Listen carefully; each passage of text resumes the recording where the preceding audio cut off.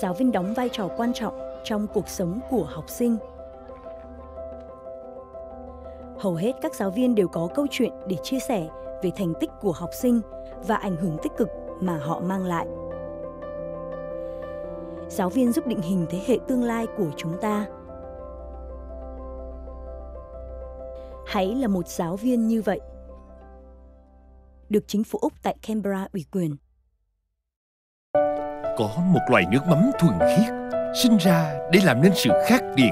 gói trọn tinh hoa của biển cả, đánh thức hương vị đậm đà thượng hạng, đẳng cấp, sang trọng. Là món quà tình thân ý nghĩa để luôn nhắc ta nhớ về cội nguồn. Nước mắm hoàng gia, gia hiện nay đã có mặt tại tất cả các tiểu bang trên toàn quốc Úc Châu với ba kích cỡ khác nhau, bao gồm 250ml, 500ml và 750ml. Tại Perth, nước mắm hoàng gia đang được bán sỉ và lẻ tại hệ thống siêu thị MCQ.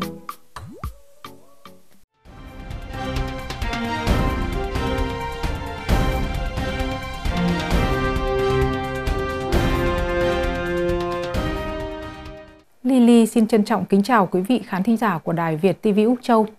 Kính thưa quý khán giả của Đài Việt TV Úc Châu,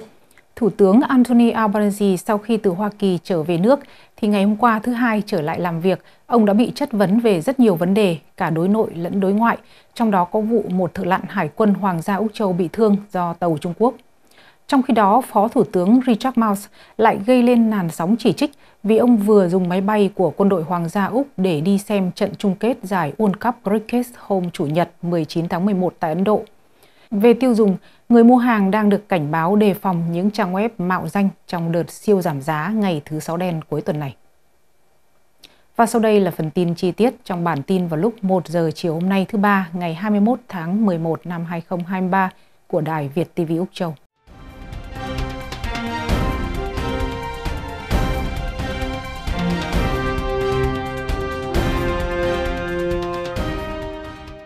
Đầu tiên là tin Thủ tướng Albanese chỉ trích vụ tàu Trung Quốc làm lính Hải quân Úc bị thương. Thủ tướng Anthony Albanese sau khi từ Hoa Kỳ trở về nước thì ngay ngày hôm qua thứ hai trở lại làm việc, ông đã bị chất vấn về rất nhiều vấn đề, cả đối nội lẫn đối ngoại, trong đó có vụ một thợ lặn của Hải quân Hoàng gia Úc Châu bị thương do một hành động nguy hiểm của tàu Trung Quốc.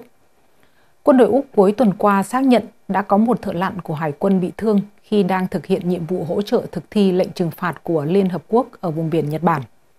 Theo đó, các thợ lặn Hải quân Hoàng gia Úc Châu đang ở dưới nước để cắt lưới đánh cá khỏi chân vịt của tàu khu trục Úc, thì một tàu Trung Quốc tiếp cận và phát ra xung siêu âm nguy hiểm.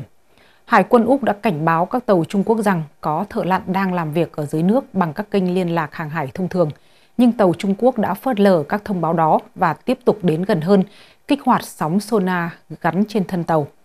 Việc làm này của tàu Trung Quốc đã khiến một thợ lặn của Úc bị thương và buộc tàu Hải quân Úc phải rời khỏi vùng biển đang diễn ra tranh chấp giữa Nhật Bản và Trung Quốc đó.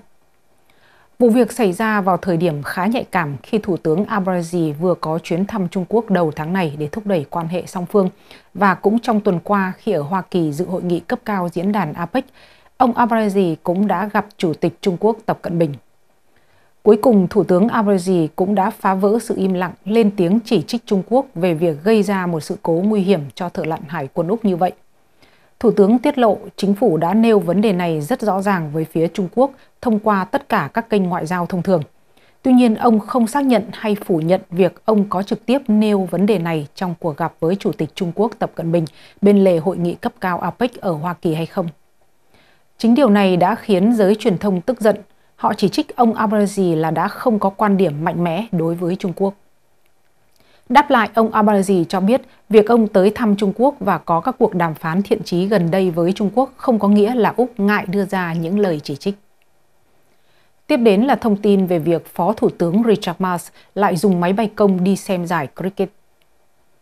Phó Thủ tướng Richard Marles lại gây nên làn sóng chỉ trích vì ông vừa dùng máy bay của quân đội Hoàng gia Úc Châu thực hiện chuyến bay khứ hồi dài 2.000 km để xem trận chung kết giải World Cup Cricket hôm Chủ nhật 19 tháng 11 tại Ấn Độ. Bộ trưởng Quốc phòng Richard Mouse và Bộ trưởng Ngoại giao Penny Wong đã bay tới Ấn Độ để đồng chủ trì đối thoại cấp Bộ trưởng 2 cộng 2 Ấn Độ-Úc lần thứ hai với Bộ trưởng Quốc phòng Rinat Singh ở thủ đô New Delhi. Nhưng báo chí đã chụp được hình ảnh ông đăng trên mạng xã hội Facebook ngồi dự xem một trận World Cup Cricket ở cách thủ đô New Delhi 1.000 km Tức tính ra là ông đã dùng máy bay công chi phí bằng ngân sách nhà nước, tức tiền đóng thuế của người dân, với quãng đường bay cả đi và về là 2.000 km để xem trận đấu bóng chày có đội Úc thi đấu. Vụ việc này càng như dầu đổ thêm vào lửa khi ông đang hứng chịu búa rìu dư luận về các chi phí từ ngân sách liên bang cho các chuyến bay phục vụ mục đích cá nhân của Phó Thủ tướng lên tới gần 3 triệu 600 ngàn đô la trong năm nay. Theo thông lệ, người dân hay những người nộp thuế có thể không bao giờ biết chi tiết chi phí của chuyến đi xem giải bóng chày vì Bộ Quốc phòng đã cấm tiết lộ nơi các bộ trưởng bay đến vì lý do an ninh.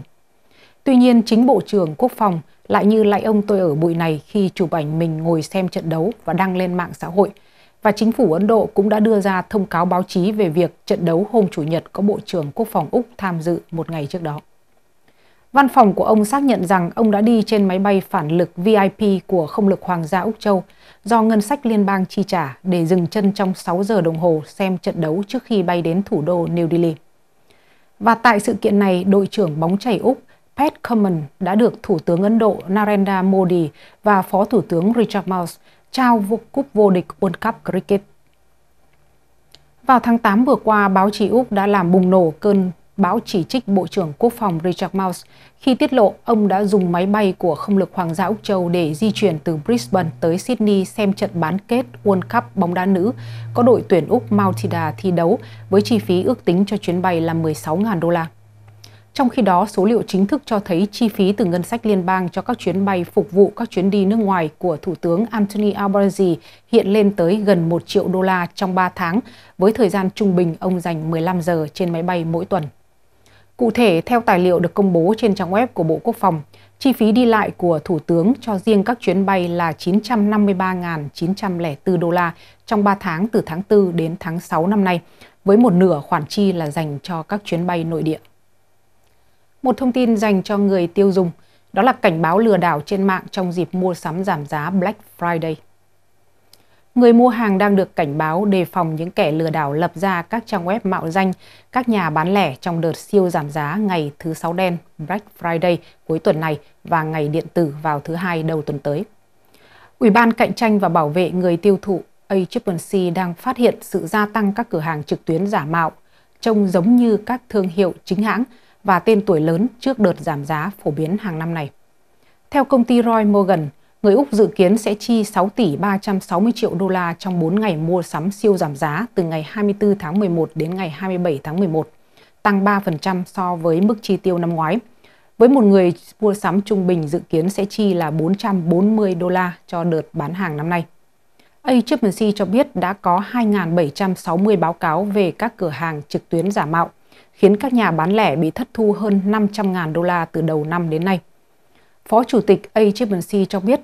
một diễn biến đáng lo ngại là những kẻ lừa đảo đã trả tiền để các trang web giả mạo của họ xuất hiện ở đầu các công cụ tìm kiếm. Do vậy, người mua sắm được khuyến cáo không nhất thiết tin tưởng vào danh sách đầu tiên khi nhìn thấy khi tìm kiếm các trang web. Bà khuyến khích người mua hàng kiểm tra đường dẫn trang web của thương hiệu họ đang mua sắm hoặc cuộn xuống kết quả tìm kiếm để đảm bảo họ tìm thấy đúng trang web chính thức của nhà bán lẻ định mua hàng. Agency cho biết những kẻ lừa đảo đang sử dụng nền tảng truyền thông xã hội để thiết lập các cửa hàng không có thật và quảng cáo các trang web giả mạo của họ như thật để lừa người tiêu dùng.